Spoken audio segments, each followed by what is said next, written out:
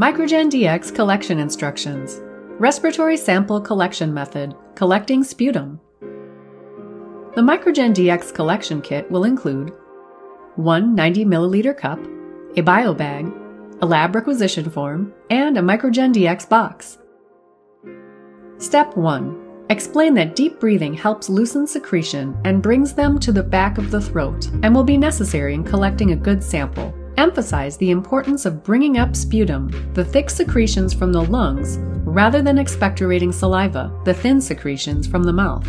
Step 2. Position your patient in a chair or on the side of the bed. If they are unable to sit up on their own, place them in a high Fowler's position.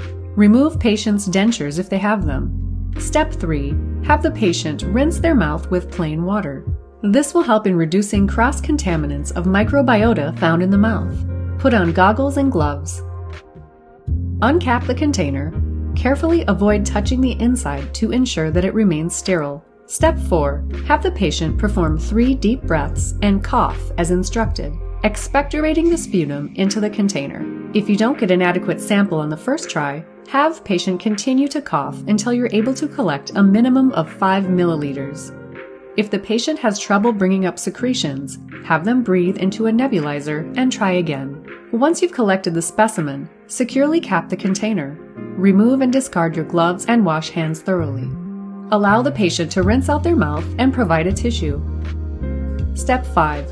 Place your completed MicroGenDX lab requisition form in the front pocket of the bio bag Add 90 milliliter collection cup into the larger pocket. Peel off the adhesive strip and press to seal the bag. Place the sealed bio bag into the MicroGenDX prepaid shipping box and send out according to your facility protocol. Alternatively, take to the nearest FedEx drop box. To order the test and supplies, go to microgendx.com.